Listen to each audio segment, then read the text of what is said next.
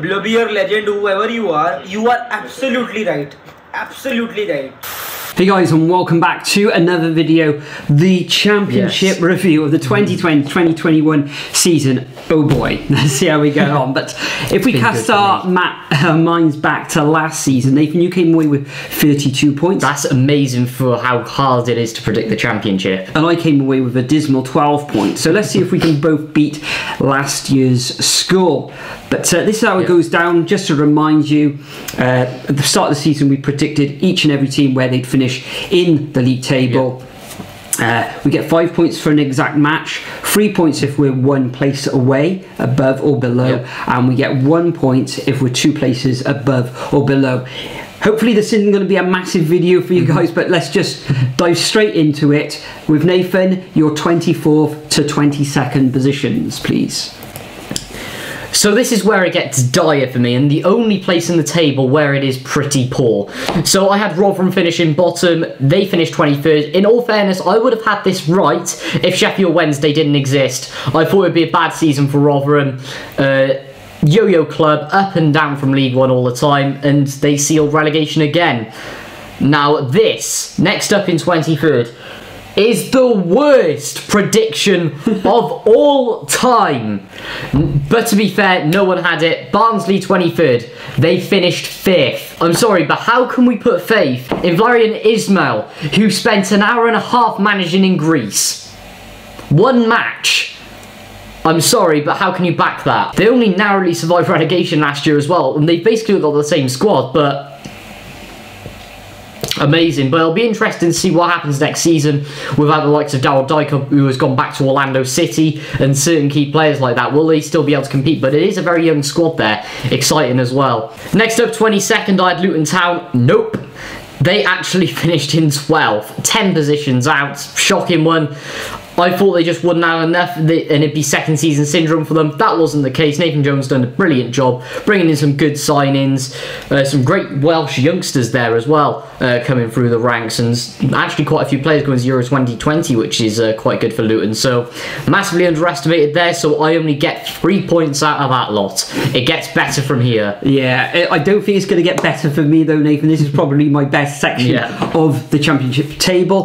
Bottom of the table, I had Wycombe Wanderers finishing there, so I was only two places um, away from that. They finished 22nd, had them in 24th, whereas of course Darren Moore's uh, Sheffield Wednesday finished bottom in 23rd position. I did actually predict Sheffield Wednesday. I thought with that 12 point deduction, I thought they'd be good enough to get a number of points, but ultimately get relegated, which they did. So I that did get reduced that to six, of course, if you do recall. It did, yeah, I think, and that bolstered them up a little bit, but it didn't save their season. Mm-hmm. And in 22nd position, I did go for Yo-Yo Cub Rotherham.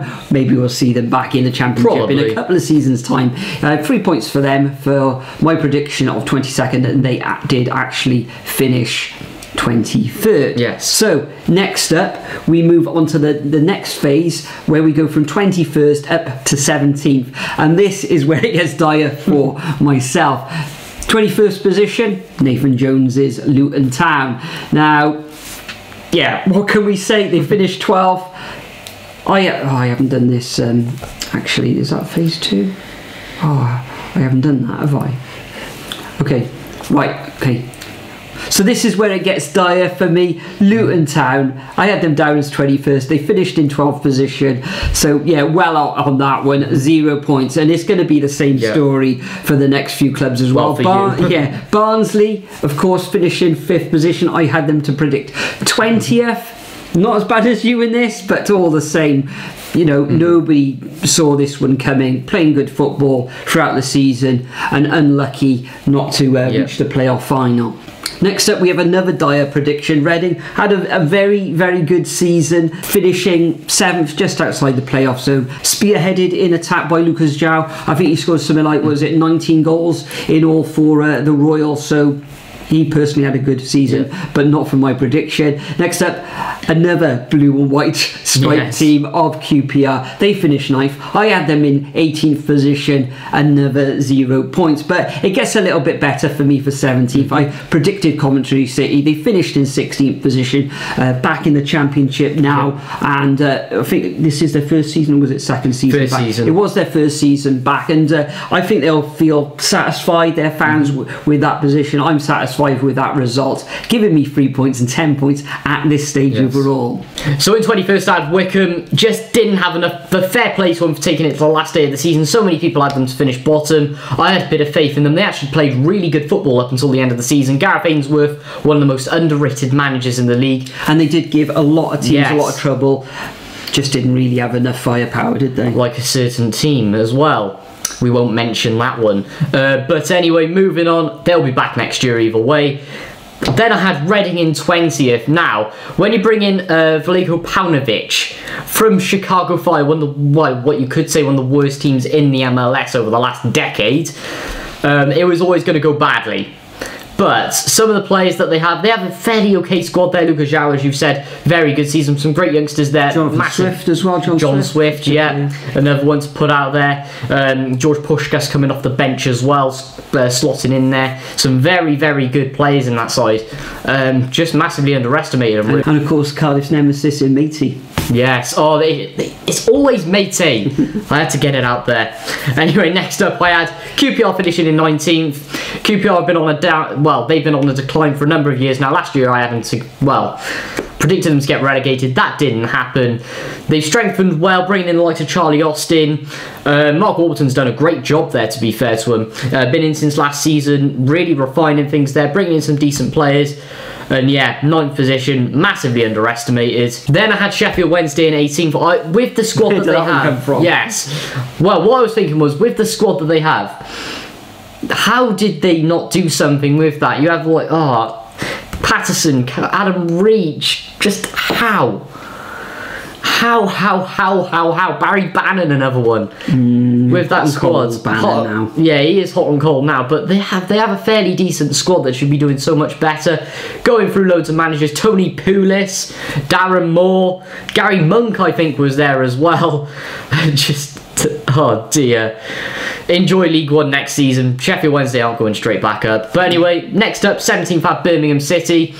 With a squad that they have been in decline for a number of years, they have an okay-ish squad, but I just knew that there wouldn't be enough there. But they were in relegation battle until they got rid of the absolutely boring football of Aitor Karanka, former Nottingham Forest and Middlesbrough boss, who where they can uh, attack but not defend, but they can defend but not attack. Bizarre football. Yeah, Lee Bowyer, he, he did all Lee right. Boy coming in, yes. At the end of the season as well, he did blood a lot of the youngsters, so fair play to him on that. Yes, they are, they are starting to improve a lot, but I can't. I think that's going to be a long term job. But out of that lot, six points, I'll take it. It gets better though.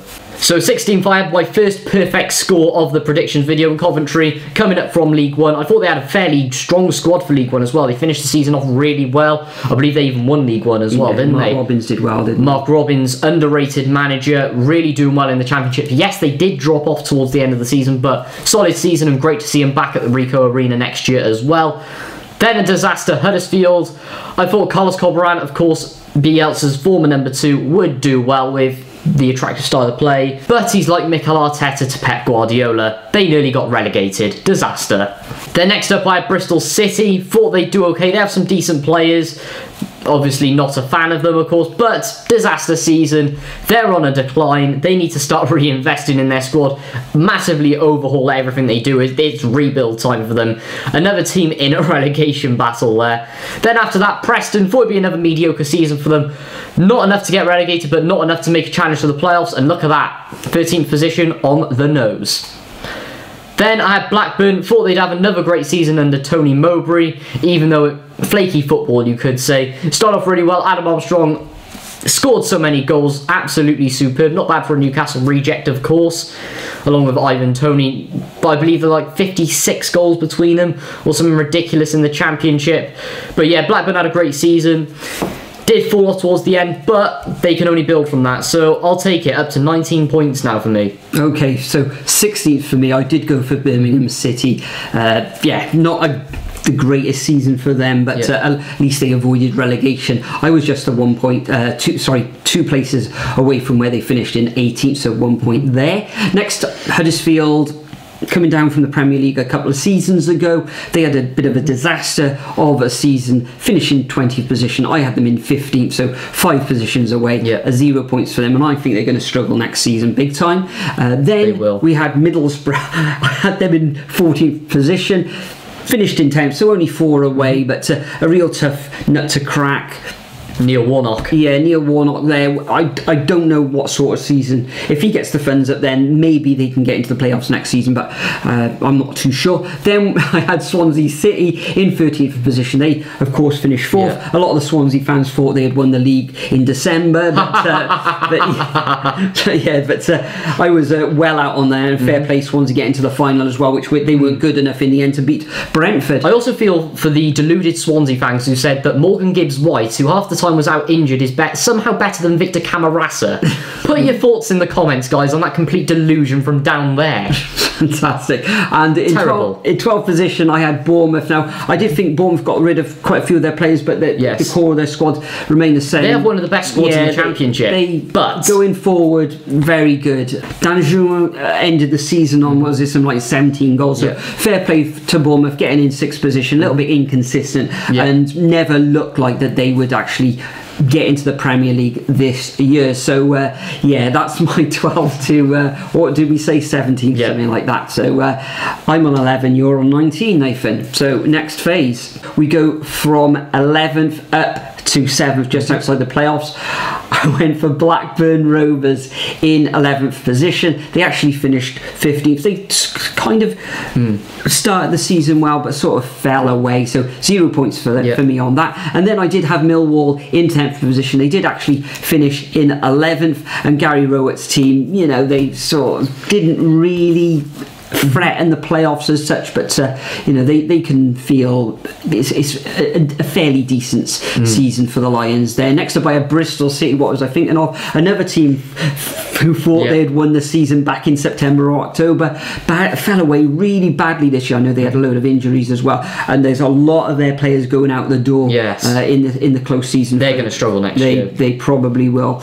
Uh, and then in eighth position, I had Preston North End. They ultimately finished in 13th. Mm-hmm. Another bit of a disaster prediction for me there, especially they've been knocking on the door Yeah. of the playoffs for the last few seasons. And then I had my complete disaster. Actually, I can't talk. In seventh position, I predicted Wayne Rooney's Derby County. You always have to put Wayne Rooney before you Yeah. mention Derby. The Rams, of course, they escaped relegation on the final day of the season with that goal from uh, Marlon Pack for Cardiff City against Mm-hmm. Yeah. Rotherham. Well, put it this way: if Sheffield Wednesday didn't exist, they'd be in League One. yeah, um, if, if, if Pack hadn't Yeah. scored then, who I've been told a lot of people from Derby were giving Marlon Pack player of the season for the Rams, then they would have been, you know, they would have been down. But uh, yeah, a disaster there. I had them in seventh and they Atrocious. finished 21st. So Nathan, your next phase, please.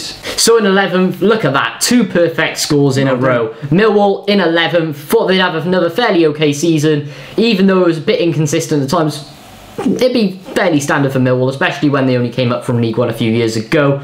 Building from the post Neil Harris era who got you into the Championship and really refining it. I believe uh, Gary Rowett is uh, manager there now. Nice safe pair of hands, especially for something to build there. Maybe even make a playoff push. Then I had Middlesbrough in 10th, um, exactly on the nose. Neil Warnock, I knew that he'd get them up the table, especially from where they were under Jonathan Woodgate, but wasn't really backed doesn't trust his squad as much as he did as Car- at Cardiff.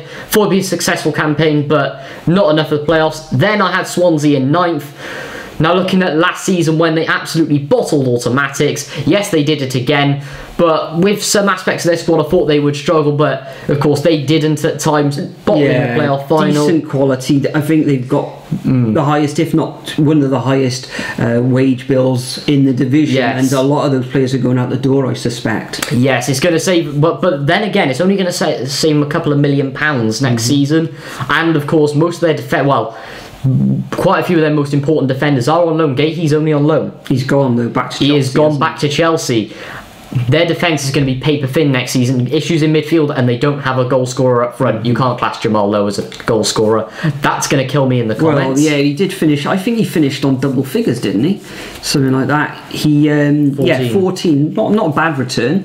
Not a bad return, but not exactly lightening up for where they are in the table. So it's good. I can't see him getting playoffs next year as a preview, guys. In eighth place at Bournemouth, I thought leaving it to Jason Tindall would be a safe pair of hands, but nope. He ended up getting sacked. And why would you replace Tindall with Jonathan Woodgate, who had an absolute disaster at Middlesbrough? He did, but he actually did Stupid all right move. with Bournemouth. I, He did okay with I Bournemouth, but I'm didn't think he still not convinced, to be honest. I, I think they've only gone. made it. I think he's gone anyway. I think he may have gone, um, but they still only made it in sixth. Very close with um, Reading could have possibly got in there if they didn't bottle the playoffs, or even Cardiff and QPR making our pushes in as well. Uh, but I don't think it was the right appointment for them. They could have got someone better in, and they have one of the best squads in the championship, but disappointing personally. And then seventh position, I have Norwich. I thought that they'd struggle. I thought that they'd struggle coming straight back down from the Premier League. Teams would start to work them out, but nope. Daniel Farke, he knows the league very, very well. Got them playing like he did back a few seasons ago. Basically, have the same squad. It their style of football works in the Championship, even though it's horrifying to watch. But next season, they're going to struggle even more because they have just so- sold Emi Buendia.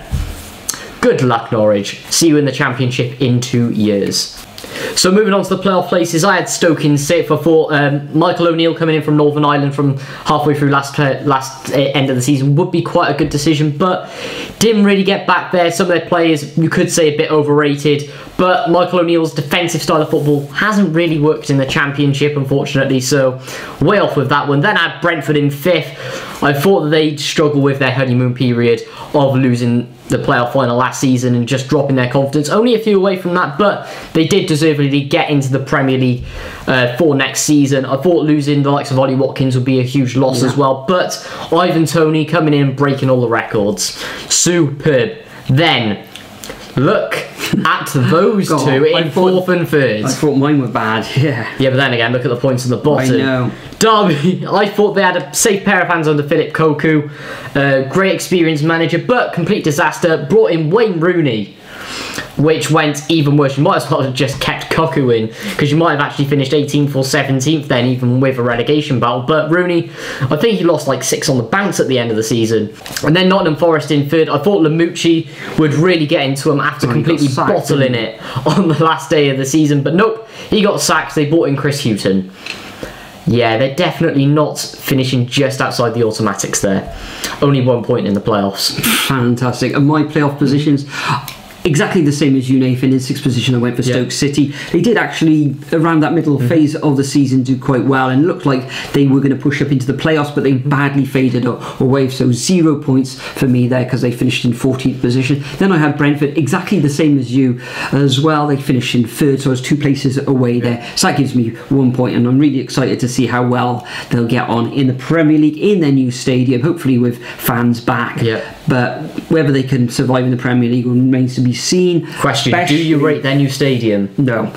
I do rate Fair their enough. striker though, but will they be able to keep hold of him? I suspect they will for the Yeah. first year or first season. And then I had Cardiff in fourth position. Of course, Cardiff fin- finished in Yeah. eighth. A little bit of Explain what thinking. happened this season. Um, I could. Well, that's a whole n- another video. So, Yeah. in just a couple of words, um, too reliant on Kiefer Moore scoring the goals. Um, Harry Wilson, okay, he did well in some games. I know he scored a hat trick uh, on the was it last but one match. Yeah. of the season. But so we really need to see more of them. There was a lot of injuries as well.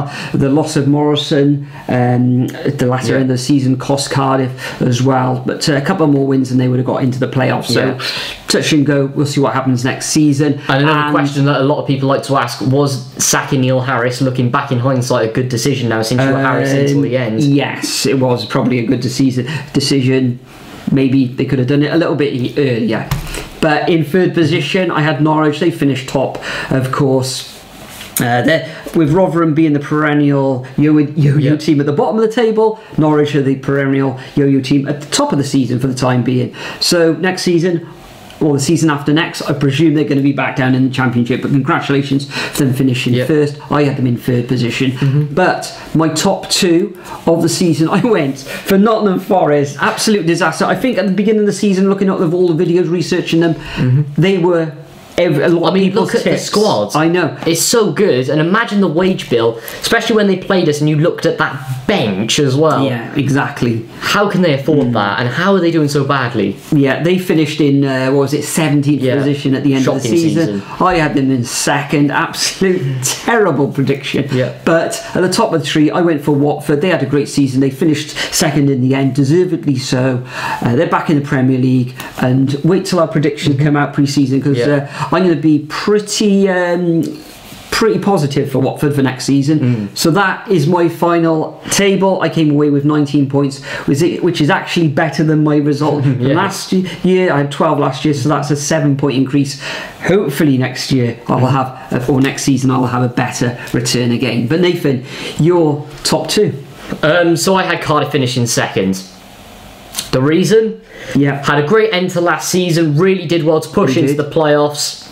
Neil Harris was superb. He brought in so many good players, great strength going forward as well. But in the end, as you said, too much reliance on Kiefer Moore. Harry Wilson, hot and cold at times as well. But injury problems and lack of signing centre backs Ah, yeah. really cost us badly. And I think the midfield, the centre of midfield Yeah. as well. Iffy. Good, good players, but just didn't really work. There's something missing there. Yeah. So in the end, Mick McCarthy, you could say it'll be interesting to see what he does next season, but I need to be more careful with that prediction. But either way, I'm going to still put us in playoffs, guys. You know the drill.